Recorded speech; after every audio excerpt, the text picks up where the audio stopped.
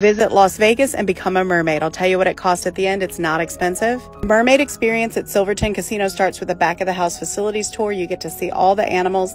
This fish is in timeout for bad behavior. You get to learn about their veterinary care and what they eat, as well as seeing some live coral and some really cool animals.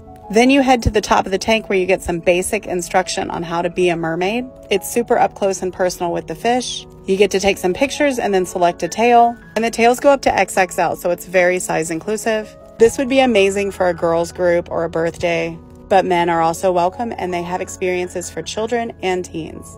All total, this is around 90 minutes and it ends with a mimosa.